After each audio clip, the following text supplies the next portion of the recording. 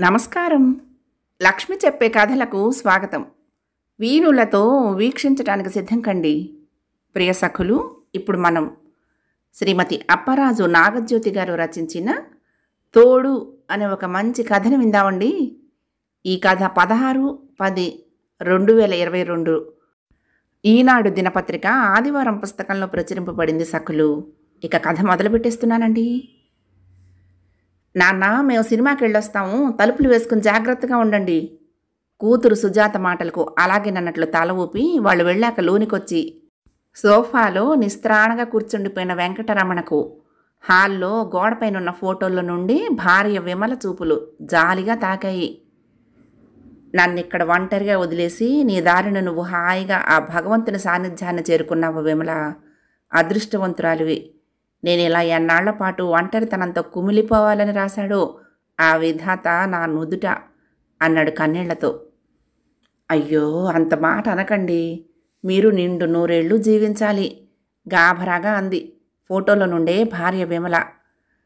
ఎలా విమల? ఈ ఒంటరితనాన్ని భరించడం నా వల్ల కాదు. గట్టిగా మూడు నిమిషాల పాటు ముక్కు మూసుకున్నానంటే శాశ్వత ముక్తిని పొందొచ్చు. అలా మంగళం పలకొద్దండి. రోజులన్నీ ఒక్కలా ఉండవు. శుభగడియలు రాకపోవు. మరణం అంచుల్లో ఉన్న నన్ను బతికించుకునేందుకు గాను వాలంటీర్ రిటైర్మెంట్ తీసుకుని మరి నన్ను కంటికి రెప్పలాగా చూసుకున్నారు. క్యాన్సర్ అడ్వాన్స్డ్ స్టేజ్లో ఉందని నాలుగు మాసాలకు మించి బతకనని డాక్టర్లు చెప్పిన తర్వాత కూడా ప్రేమతో కూడిన మీ సేవలతో నా ఆయుష్ను మూడేళ్ళ పాటు పొడిగించిన మీలాంటి ఉత్తముణ్ణి ఆ దేవుడు చల్లగా చూస్తాడండి అంది విమల ఫోటోలో నుండి. ఏమో విమల నాకైతే అంత అగమ్య గోచరంగా ఉంది. ఇలా ఇంకా ఎన్నాళ్ళు? పెద్దగా కాలింగ్ బెల్ శబ్దం అవటంతో ఉలిక్కిపడి లేచి వెళ్ళి తలుపులు తెరవగానే ఎదురుగా స్నేహితుడు గోవిందరావు కనిపించడంతో రారా గోవిందు అంటూ సంతోషంగా ఆహ్వానించాడు. సోఫాలో కూర్చుంటూ ఇంట్లో ఎవరూ లేనట్టుందే రమణ. మరిందాక నేను కాలింగ్ బెల్ నొక్కబోతూ ఉంటే లోపల నుండి ఏవో మాటలు వినిపించాయేంటి? అడిగాడు గోవిందరావు. పిల్లల్ని తీసుకుని అమ్మాయి అల్లుడు కొద్ది క్షణాల క్రితమే సినిమాకు వెళ్ళారు.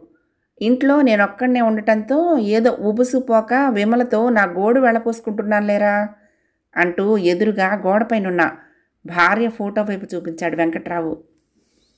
నువ్వు కూడా వాళ్ళతో కలిసి సినిమాకి వెళ్తే కాస్త కాలక్షేపం అయ్యేదిగా.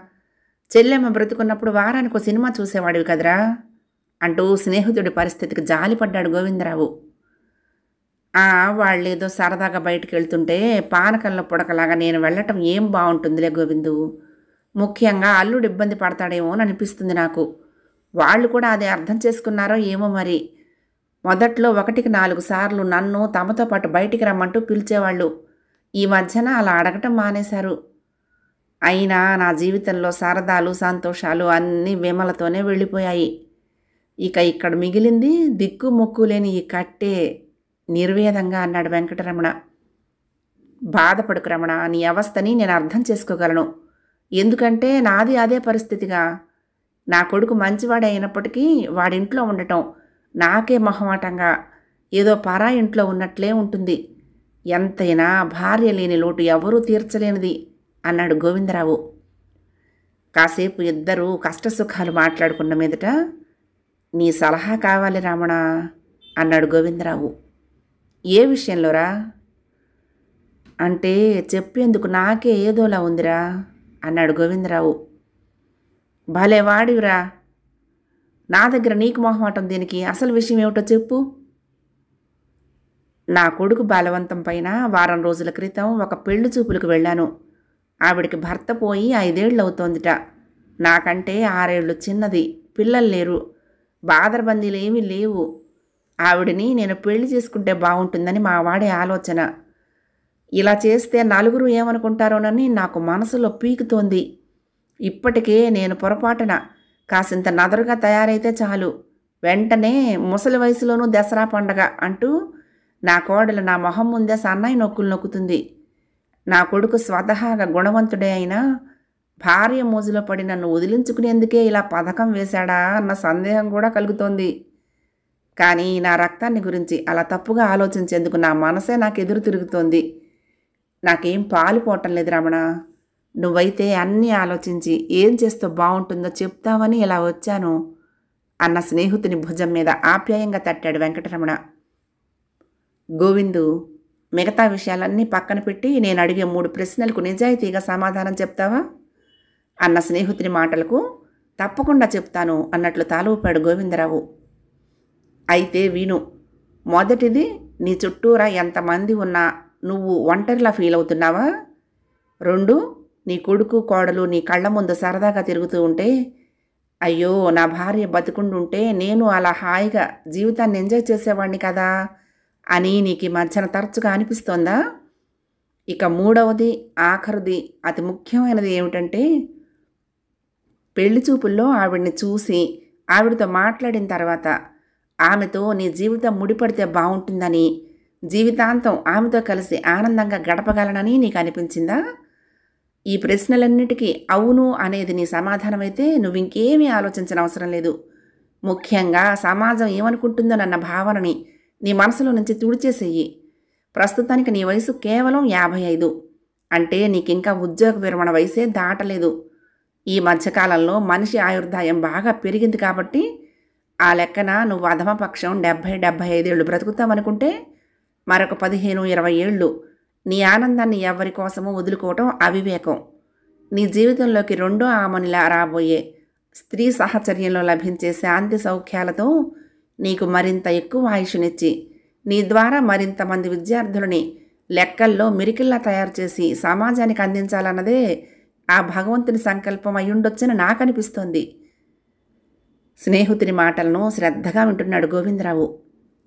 సినిమా టిక్కెట్లు దొరక్కపోవటంతో పిల్లల్ని తీసుకుని ఇంటికి దగ్గరలో ఉన్న పార్కుకి భర్త వెళ్ళగా తండ్రి నిద్రపోతుంటాడేమోనన్న తలంపుతో కొద్ది నిమిషాల క్రితమే నిశ్శబ్దంగా వెనకవైపు తలుపులు తెరుచుకుని లోనికొచ్చిన సుజాత చెవిన ఈ సంభాషణ పడటంతో ఆమె కూడా ఇదంతా ఆసక్తిగా వింటోందన్న విషయం వీళ్ళకు తెలీదు.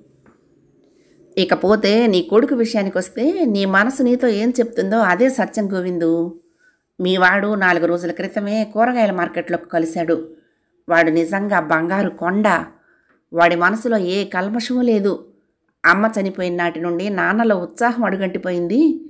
ఒంటరితనాన్ని అమ్మలేని లోటును ఆయన భరించలేకపోతున్నారు అంకుల్. ఆయన అలాగే వదిలేస్తే ఏమైపోతారోనని భయం వేస్తోంది అంటూ చాలా బాధపడ్డాడు. వాడి ఆరాటం అంతా కూడా చనిపోయిన తన తల్లికి సమానమైన తోడును నీకు అందివ్వాలనే తప్ప నిన్ను వదిలించుకోవాలన్న తలంపే లేదు వాడిలో. ఈ పెళ్ళికి నేను ఎలాగైనా ఒప్పించమని నా చేతులు పట్టుకొని అర్థించడమే కాకుండా వాడు నాతో మరొక మాట కూడా చెప్పాడు గోవిందు అంటూ ఒక్క క్షణం ఆగాడు వెంకటరమణ. నాకు చెల్లెలకి పెళ్ళిళ్ళు చేసే ముందు సంబంధం మంచిదేనా? వంశం ఎటువంటిది? వాళ్ళ సాంప్రదాయం ఏమిటి? అంటూ మీతో కలిసి నాన్న చాలా మంది దగ్గర వాకప్ చేశాకే మా వివాహాలను ఖాయం చేశారు. అలాగే ఇప్పుడు నాన్న కోసం నేను తెచ్చిన సంబంధం గురించి కూడా పెద్దవారిగా మా శ్రేయోభిలాషిగా మీరే ఆ బృహత్తర కార్యక్రమాన్ని తలకెత్తుకోవాలి. ముఖ్యంగా ఆవిడ స్వభావం మా అమ్మ మనస్తత్వానికి దగ్గరగా ఉంటుందా లేదా అనేది తెలుసుకోగలిగితే బాగుంటుంది అంటూ నా చేతులు పట్టుకుని అర్థించిన. నీ కొడుకును చూస్తే నాకెంతో ముచ్చటేసిందో గోవిందు. వాడిని చూసి నేను చాలా నిజంగా చాలా గర్వపడుతున్నానురా.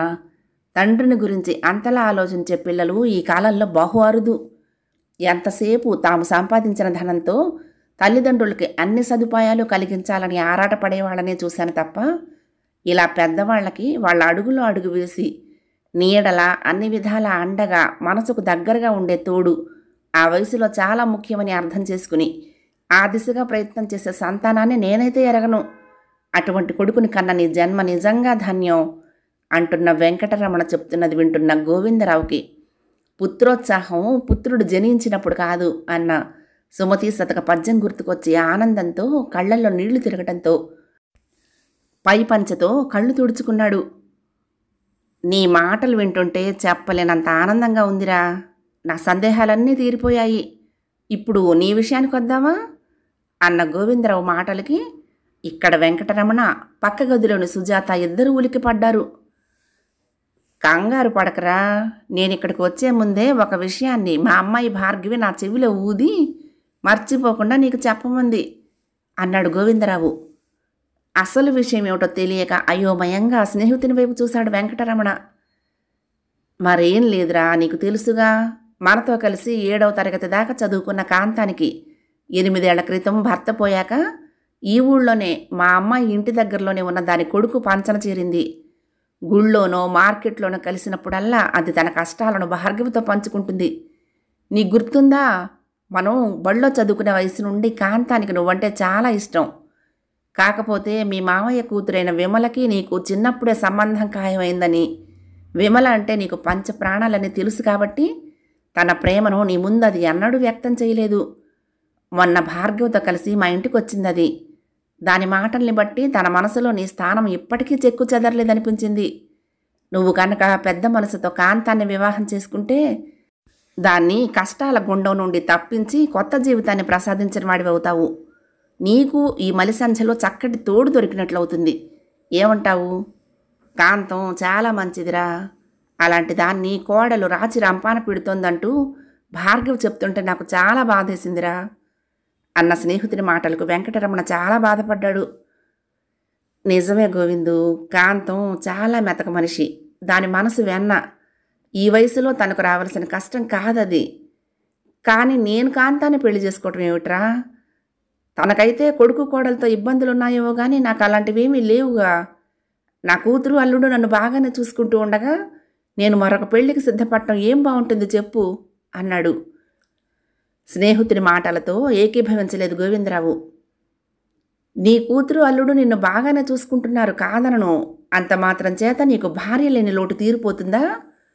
ఇందాక నేను ఇక్కడికి వచ్చే సమయానికి నువ్వేం చేస్తున్నావో ఒక్కసారి గుర్తు చేసుకో.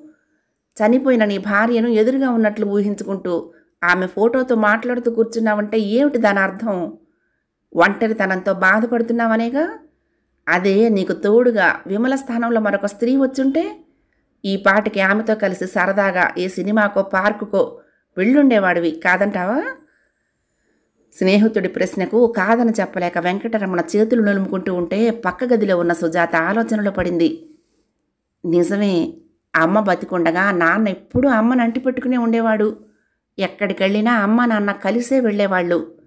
సరదాగా ఒకరిపై ఒకరు జోకులేసుకుంటూ వాళ్ళిద్దరూ ఎప్పుడూ జంటగా తిరిగేవాళ్ళు. ఇప్పుడు అటువంటి చక్కటి తోడు లేకపోవటం నాన్నకి నిజంగా పెద్ద లోటే. ఎంచేతనో మరి ఇంతకాలం నాకు ఈ ఆలోచన తట్టలేదు సుమా. ఆలస్యం అమృతం విషం అనుకుంటూ ఒక దృఢ నిశ్చయంతో గబగబా చెప్పులు వేసుకుని బయటకు నడిచింది సుజాత. అడగకుండానే అన్నీ అమర్చిపెట్టిన నాన్నకి ఈ వయసులో అవసరమైన తోడును అందించే అవకాశాన్ని ఇచ్చిన ఆ భగవంతుడికి అంజలి ఘటిస్తూ తనలో ఈవేళ ఈ తలంపును కలగజేసిన గోవిందరావుకి మనసులోనే ధన్యవాదాలు తెలుపుకుంటూ భార్గవి ఇంటికి బయలుదేరిన సుజాత మనోఫలకం మీద కాంతం పిన్ని చేతిలో చేయివేసి వేసి హుషారుగా నడుస్తున్న తండ్రి రూపమే మెదులుతూ ఉంటే ద్విగుణీకృతమైన ఉత్సాహంతో ఆమె అడుగులు వడివడిగా ముందుకు సాగాయి. కథ సమాప్తం. ప్రియసఖులు ఈ కథ మీకు నచ్చితే తప్పకుండా లైక్ చేయండి షేర్ చేయండి కామెంట్ చేయండి సబ్స్క్రైబ్ చేసుకుని నన్ను ఎంకరేజ్ చేయండి. ఉంటానండి. ప్రేమతో లక్ష్మి కృష్ణాతీరం దుర్గమ్మ సన్నిధానం. నమస్తే.